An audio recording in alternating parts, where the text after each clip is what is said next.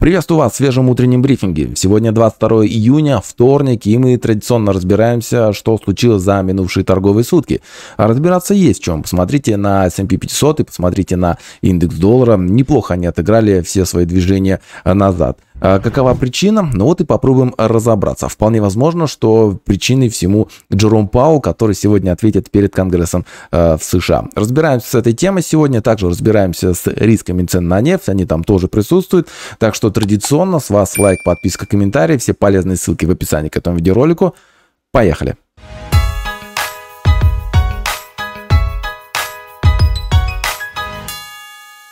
Начать я хотел бы сегодняшний выпуск событий на предстоящий день, то есть на сегодня, потому что сегодня есть очень интересная такая строчка. А, выступление Джерома Паула перед избранным комитетом а, по кризису с коронавирусом а, в Палате представителей США. Это статья «Пульс рынка». В правом верхнем углу сможете найти одноименный э, видеоролик. Посмотрите, если вы этого еще не сделали. Ну а ссылка, э, вернее, статья вся кликабельная. То есть нажав сюда, вы переноситесь непосредственно на э, расписание Федеральной резервной системы США, где где более подробно можете ознакомиться с тем, что там будет происходить, и даже посмотреть в режиме live, если в этом э, будет необходимость. И мы сами видим прекрасно, как э, фондовый рынок и доллар США в индексе доллара США на самом деле неплохо так отыграли свое недавнее падение.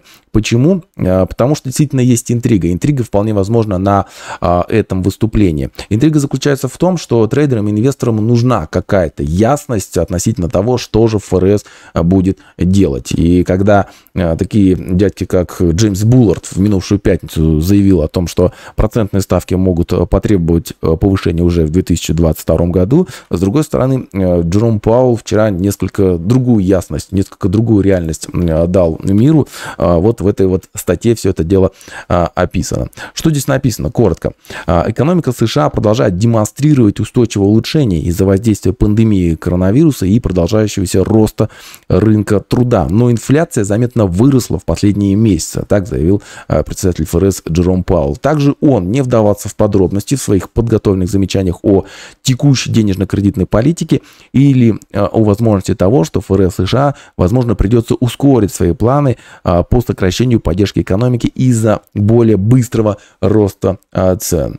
Джером Паул в своем выступлении сказал, что по его мнению нынешний скачок инфляции фактически исчезнет э, и что прирост рабочих мест должен увеличиться в ближайшие месяцы, поскольку вакцинация от COVID-19 продолжается и возобновление экономики тоже продолжается. Что важно из этого статьи нам а, нужно подчеркнуть? Ну, во-первых, э, почему, кстати говоря, э, ФРС считает, что инфляция э, носит именно временный характер? Этому есть некоторое логическое объяснение. Кстати, некоторые задают вопросы мне в личных сообщениях либо в комментариях. Все дело в том, что Джером Пауэлл и не только он считает, что та инфляция, предполагая, что та инфляция, которая сейчас развивается, это скорее инфляция, так сказать, производителей, да, то есть инфляция предложения, связана с тем, что нарушены логистические связи, и те товары потребления, которые фактически продаются, а, в них заложены большие издержки, связанные с транспортировкой, с разрушенной логистикой. Логистика разрушена из-за того, что во всем мире ограничения. Я думаю, вы понимаете, чем это связано. Ну и, конечно же, сырье. Огромные цены на сырье, все взлетело, все это падает на издержки производства товара, и этот товар действительно оказывается дорогой. И отсюда фактически и разгоняется инфляция инфляция. Отчасти этому подтверждается и вот динамика э, потребительских э, индекса цен. То есть, например, смотрите, индекс потребительских цен, э, который вырос до 5% в США, он значительно ниже, чем индекс цен производителей, который отчасти и демонстрирует да, инфляцию предложения. 6,6% вот такой вот индекс потребительских, индекс цен производителей в США – так что э, в какой-то степени Джерома Пауэлла не то чтобы понять можно, а логику его мыслей тоже понять можно. А если э, будет массовая вакцинация, если мир получит, так сказать, массовый иммунитет, э, и границы откроются, начнут налаживаться логистические связи, начнут налаживаться транспортировка, цены на сырье начнут снижаться, да, они уже сейчас это начинают делать. И, соответственно, инфляция, которая так разгоняется в США, тоже пойдет на спад. Логика в этом, безусловно, есть. И действительно, действительно, наверное, повышать процентную ставку преждевременно. Это отчасти а, то, о чем мы сами говорили а, при решении Центрального банка Российской Федерации. Эльвира Набиулина сообщила нам в своей пресс-конференции, что у нас инфляция именно спроса, а не инфляция предложения, и поэтому подняла процентную ставку. Но если она ошибается, если действительно инфляция разгоняется именно из-за того, что предложение такое дорогое, то она тогда просто стреляет себе в ногу, потому что поднятие процентных ставок бьет по экономике Российской Федерации и никак не помогает в проблеме с инфляцией. Джером Пауэлл Э, судя по всему, считает, что э, именно предложение, проблема именно в предложении, и если он начнет поднимать в скором времени процентную ставку, то инфляцию это мало обуздает, а вот задушить экономику, безусловно, может. И здесь он обращает наше с вами внимание как раз-таки на э, количество рабочих, на прирост рабочих мест. Почему это важно? Это нас отсылает к нонфарму. Теперь нам с вами важно следить за публикацией нонфарма, потому что на публикации нонфарма будет волатильность, рынок будет на это реагировать очень-очень очень, э, очень нервно, скажем так. Очень нервно рынок может реагировать и на сегодняшнее выступление Джерома Паула перед Конгрессом э, в США, потому что там будут задаваться вопросы по типу того, а, значит, действительно ли необходимо повышать процентную ставку так скоро, а, действительно ли инфляция значит, э, и носит временный характер, или вы пересмотрели свои прогнозы? И возможно ли, э, так сказать, э, достижение тех целевых показателей по уровню безработицы, которые вы себе поставили, или в этом есть какие-то проблемы, и нужно что-то предпринимать? Понимаете, это, э, эти ответы на эти вопросы могут э, дать, внести ясность участникам рынка относительно того, действительно ли скоро будет сворачивание программ количества смягчения, или же все-таки какое-то э, время есть. Отсюда реакция соответствующая. Если, Джером, если ответы Джерома Паула будут восприниматься как меры, что нужно сворачивать КУЕ, то падение фондового рынка США продолжится, рост доллара США тоже продолжится. Это ровно те вещи, которые были были э, начаты еще в четверг э, прошлой недели. Если же он все это дело завернет назад, то вполне возможно мы получим здесь позитив и для э, ФРС США, и для доллара США. Он на индекс доллара может пойти на снижение, на какие-то коррекции. Опять же, до каких-то следующих заявлений. Но, тем не менее, сегодня за этими вещами, я думаю, мы с вами следить однозначно должны. Еще одни интересные события развиваются, правда, уже на Дальнем Востоке. Речь про Иран. Все-таки состоялась первая пресс-конференция избранного президента Ирана, и он заявил такие очень интересные вещи. Дело в том, что президент Ирана потребовал прекратить американские санкции в отношении своей страны и полностью вернуться а, э, полностью возврат Вашингтона э, к ядерному соглашению 2015 года.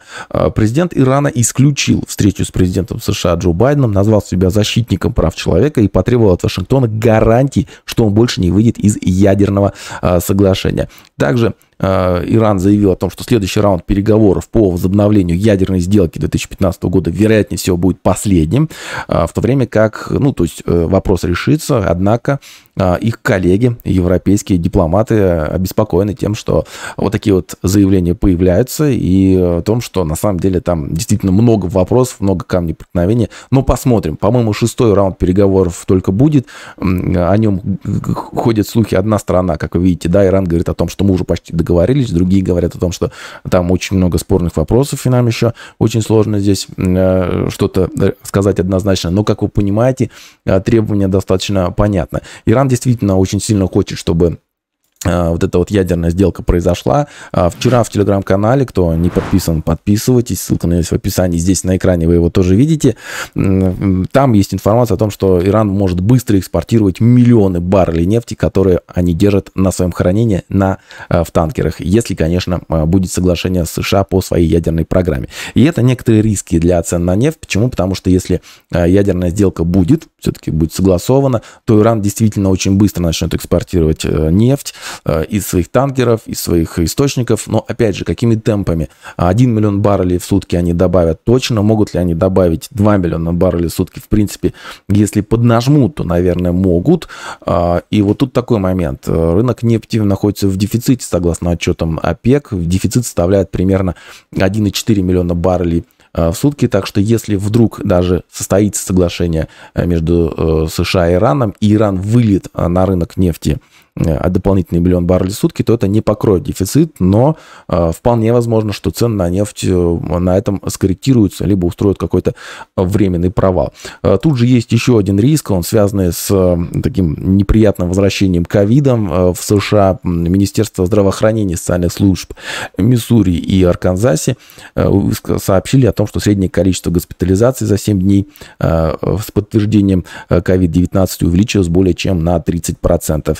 И это действительно пугающий момент. Не то, чтобы я переживаю за здоровье американцев, я переживаю за спрос да, со стороны американской экономики, потому что там мы с вами видим спрос, э, восстановления есть, и спрос на нефть тоже есть. Они там э, добывают нефть со скоростью 11,2 миллиона баррелей в сутки. Спрос у них вроде бы как возрождается. Если будут проблемы с ковидом, спрос на снижение, а тут еще иранская нефть может жару добавить. Ну еще хотелось бы отметить э, экспирацию э, фьючерсов и опционов на нефть марки WTI. Она пройдет сегодня, так что после сегодняшнего дня, если кто-то цены на нефть держит на максимум, чтобы там э, по минимуму э, выплачивать, то с завтрашнего дня вот эта вот поддержка может исчезнуть. Итого, если мы с вами посмотрим на техническую картину, то, честно говоря, э, позитив для цен на нефть, на мой взгляд, все еще сохраняется, но уж как-то сильно позитивно он сохраняется. То есть причин для вот этого роста цен на нефть, на мой взгляд, нету. Но, тем не менее, оно происходит. Что, что бы я предпринял? Я бы сказал, бы, что WTI 70 3.17 в какой-то момент дорого. И действительно здесь есть, э, ну не то чтобы шансы, да, а риски того, что цены на нефть прольются. Внимательно следим за соглашением США и Ирана. Если оно действительно будет достигнуто, или если будет спрос падать где-нибудь в Индии или в США, то мы можем увидеть какой-то пролив. Но я не думаю, что это будет крах. Я думаю, что это такая достаточно серьезная коррекция, может быть в районе 70, 67, 30, где можно э, подбирать. Напоминаю, что э, цены на нефть находятся в баквардации. Напоминаю, что опековцы и Минэнерго США в целом видят дефицит рынка нефти, так что восстановление цен может быть, даже если состоится какой-то пролив. Но 70, 74, 95 в бренде это совсем не те цены, которые достойны нашего с вами внимания для длинных позиций. Можно ли шортить? Ну, в принципе, я не, не могу сказать, что нельзя шортить, конечно. Если доступен для вас шорт, можете шортить, ожидать, что и провал состоится. Но, честно говоря, не очень хочется шортить, на мой взгляд, тот товар, который по, двум, по данным двух агентств находится в дефиците. Переходим к технической картине и напоминаю, что трансляция для спонсоров Брифинг Insight уже доступна на моем YouTube-канале. В правом верхнем углу есть прямая ссылка на нее. Смотрите, а, у кого есть а, такая возможность. А, глядя на европейскую валюту, хочется отметить, что, что при вчерашнем удешевлении доллара США, индекса доллара США по отношению ко многим валютам, евро-то зацепило в меньшей степени, потому что европейская валюта дешевела тоже. Почему? Потому что, помимо прочего, вчера еще выступала Кристин Лагард, председатель Европейского центрального Центрального банка, э, отвечая, грубо говоря, на вопрос, будет ли ЕЦБ повышать процентную ставку в случае, если ФРС будет э, переходить на повышение процентных ставок, Кристин Лагард а, дала четкий намек на то, что, это не намек, а прямыми словами сказал, что эм, Европейский центральный банк не будет следовать за действиями ФРС, потому что экономика Европейского Союза и США совсем разнится, и повышать им процентную ставку очень преждевременно. Восстановление в Европе происходит более медленными темпами, чем а, в США, поэтому если Э, ФРС будет повышать процентную ставку, то мы как бы на это все дело забьем, будем следить за своими показателями. Надо отметить, что если вдруг состоится такая вот ситуация, при которой ФРС будет э, повышать процентные ставки, сворачивать КУЕ, ну то есть э, проводить жесткую монетарную политику, и при всем при этом одновременно Европейский центральный банк свою политику мягкую не будет менять, то это устроит долгосрочную тенденцию на евро Э, доллары вниз. Почему? Потому что евро будет дешеветь, потому что это мягкая монетарная политика, доллар США будет дорожать, ну, доллар США будет дорожать, потому что это жесткая монетарная политика. Это нужно понимать, к этому нужно готовиться. Вот вопрос только в том, пойдет ли ФРС на сворачивание своей монетарной политики или нет. Но, тем не менее, может, сегодня мы увидим с вами какие-то ясности от Джерома Паула. Здесь у нас все то же самое, 1.1960, 1.1930, а, то место, где можно рассмотреть какие-то короткие позиции. А вот здесь тут у нас поддержка своего рода есть. Я в целом не исключаю, что мы здесь проведем какое-то время а, до э, выступления Джерома Паула, либо до каких-то аналогичных э, заявлений. Ну и, как я сказал раньше, да, если действительно ФРС пойдет на смягчение монетарной политики, это может э, перерасти в нисходящую тенденцию по евро-доллару вниз. Так что если есть какие-то короткие позиции, это просто замечательно в какой-то степени. Но а пробой 1.1960 мы не ждем. Если это состоится, там закроемся, да еще и будет соответствующая риторика Джерома Паула, тогда уже можно будет говорить о восстановлении европейской валюты э, перед долларом США. Наш российский рубль вчера устроил неплохие движухи. 74 200 мы сами все-таки увидели. Э, это это идея, которая отработалась, и идея, которая была доступна и вот в брифинг Insight, там она четко сработала. Но к этому движению есть на самом деле вопросы. То есть мы сами можем посмотреть на а, вот эту вот динамику. У нас российский рубль вчера подешевел, то есть у нас индекс доллара, ой, прошу прощения, доллар-рубль инвертированный, да, и мы здесь видим, что рубль подешевел, при всем при том, что это произошло на фоне растущей нефти, и это все произошло на, э, ну, в данном случае, у, у, росте, да, инвертированного на индекс доллара, то есть на а, удешевление доллара США. Вот так вот. То есть можно сказать, что вчера а, российский рубль подешевел сильнее, чем подешевел а, доллар США. Отсюда мы сами видим вот эту вот движуху, которую видим. То есть, ну, это не проблема, скажем так, э, в рубле, это не проблема в долларе, это вот просто такая динамика. А что делать? Ну, мало того, что мы действительно отталкиваемся, и какая-то поддержка здесь все-таки имеет место быть, я бы еще обратил ваше внимание на очень интересные дневки э, на э, фьючерсе, на, даже не на фьючерсе, а на самом доллар-рубле, ну, сейчас мы это посмотрим. Ну, а по планам на сегодня я бы не сказал бы, что наступило время шортить откуда-то отсюда. Давайте здесь мы с вами посмотрим, что скажет именно Джером Пауэлл. Я не думаю, что он так вот устроит какой-то дикий Армагеддон в этом ключе. Но посмотрим, что он скажет, и посмотрим, как на это дело отреагирует и доллар США через индекс доллара, да, и российский рубль в связке э, с долларом-рублем. Но вообще, действительно, как я сказал раньше, вот эта движуха, которая есть э, во фьючерсе, она показывает, что, ну, подсказывает о том, что движение вниз как минимум уже закончилось. Вполне возможно, мы здесь можем получить какой-то э, какой разворот. Вот, обращаю ваше внимание на дневки в доллар-рубле. Они выглядят очень так соблазнительно, потому что мы с вами видим перелой, мы с вами видим перелой, вот это вот как бы перелоя, если так можно отметить, да, напоминаю, что были люди, которые прям в грудь себя колотили о том, что это точно разворотная свеча, собрали там какие-то стопы, ниже мы не окажемся. Оказались, как видите, да. Но речь о другом. Речь о том, что мы э, за какими-то минимумы, э, минимумы э, устраиваем вот такие вот дневки вот с такими вот хвостами. И если посмотреть на, там сказать, мелкий таймфрейм, да, то действительно мы видим, что ближе к американской сессии какой-то спрос здесь присутствует, так что как будто бы такой вот спрос на актив есть. Аналогичная ситуация есть, в принципе, и в э, рубле в паре с европейской валютой, то есть евро-рубль. Мы тоже видим здесь перелой, мы тоже видим здесь такие вот выкупные интересные свечки. Я не говорю о том, что свечка это прям вот о чем-то прям точном говорит, это просто такие вот э, интересные наблюдения. Почему бы, собственно, и нет, здесь тоже активность может быть. Э, вполне возможно, что вот это для нас с вами станет камнем преткновения в евро-рубле, и вот прохождение отметочки 87-70 будет носить более интересный э, характер, вполне может носить более интересный характер. А S&P 500 здесь у нас э, отыгрался своего рода неплохо. Действительно, да, то есть восстановил все свое, э, получается, пятничное падение, и в какой-то степени этот Паул всему виной. Не хочется здесь говорить о том, что мы пойдем пробивать 4260, 4210. Я думаю, позитива для пробоя, э, ну, во всяком случае, уверенного пробоя мало. Вполне возможно, что мы будем слушать Джерома Паула, вполне возможно, что мы будем искать какие-то, ну не мы, мы, я имею в виду участники рынка, да, э, будем искать какую-то ясность со стороны ФРС. Все-таки мы будем повышать процентную ставку в 2022 году или нет?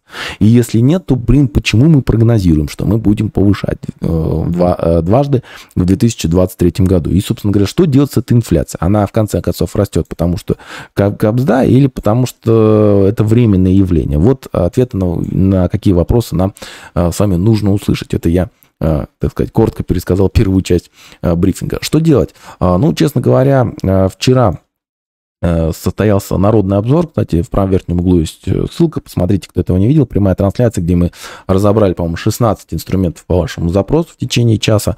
И вот отчасти S&P 500 и там тоже был. Но, как видите, не состоялось тестов 4100, 4015. Сегодня я бы не стал бы исключать этого вероятность. Опять же, да, если Джон Паул начнет там юлить или начнет жестить, то мы можем действительно увидеть какое-то снижение. А так, пока, ну да, действительно, в, скажем так, в рынке витает некий такой дух э, кризиса, дух провала, э, то есть э, нужен буквально какой-то триггер, да, для того, чтобы все это дело устроилось в распродажу. Ну вот это тот самый момент, когда крайне сложно предсказать, что этот триггер все-таки наступит. Наступит, не наступит, не знаю. Пока вот как-то так. Наш индекс РТС за вчерашний день снизился, достиг ожидаемых 160 тысяч. Здесь тоже была идея, здесь тоже было четко. Правда, были некоторые сомнения, потому что это индекс и, и предполагалось его шортить. Сегодня предлагаю э, значит, сделать примерно то же самое, что с рублем. Сказать, что 166 тысяч, 163 500 это сопротивление, которое может э, быть как сопротивлением, остается как сопротивлением. Ну и многое будет зависеть от того, а, как основные фондовые индексы будут у нас э, двигаться. По нефти мы уже с вами смотрели, заострять внимание не будем. Э, смотрите в тайм-ленту, там есть более подробная информация и риски и прочая техническая картина. Ну а что касается золота, то здесь у нас э, тоже подзависли, я бы так сказал. 1797-1760 я вот этот баланс выделяю. Здесь наторговано много, здесь какой-то баланс имеет место быть. Кто любит спекулировать, то welcome, место место, где можно рассчитывать какие-то продажи, место, где можно рассчитывать какие-то покупки. Э, хочется отметить, что действительно тоже много неопределенности и много будет зависеть именно от, э, от, от, э, от все-таки каких-то пояснений со стороны Джома Пауэлла, если они, конечно же, будут, ну и от доллара США. И я бы даже не исключал, что если все-таки да, Джон Пауэлл включит заднюю, и доллар США как-то начнет отыгрывать те настроения, которые были заложены в него во второй половине прошлого, прошлой недели, то мы, может быть, действительно получим какой-то э, отскок куда-то сюда. Ну, то есть внимательно следим, пробьемся или не пробьемся, и на каких новостях мы, собственно говоря, э, пробиваемся. Хочется отметить, что есть новые данные от Gold Cup, это э, ETF на золото, согласно которому особого-то притока в ETF золотые, так называемых, нету. Всего лишь на 200 миллиардов долларов США состоялся приток за неделю, закончившуюся 11 июня, и это действительно немного. Так что спрос э, так сказать, на, на золото пока здесь э, снижается. Ну и немножечко корпоративным новостям, даже не новостям, а событиям. Э, я обратил ваше внимание сегодня на NVIDIA, она у меня находится в портфеле, кстати, ссылки на портфель есть в описании к видосу. Сегодня, вернее, вчера состоялось закрытие Э, реестр под э, сплит 1 к 4.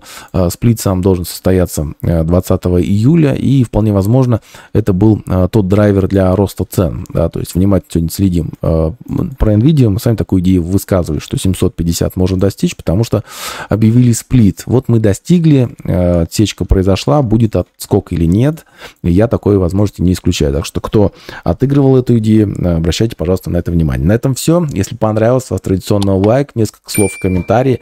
Ну и встречаемся с вами теперь уже завтра в утреннем брифинге. Здесь, как всегда. Всем профита. Пока.